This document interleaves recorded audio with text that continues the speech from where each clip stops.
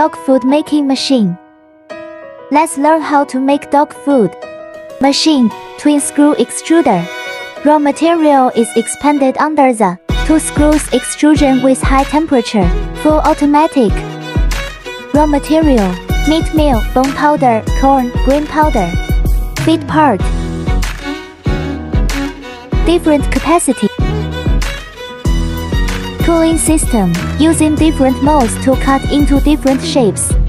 Shape of production, bone shape. Innovative shapes, high nutritional, savory taste. Follow us to know more extrusion machine line.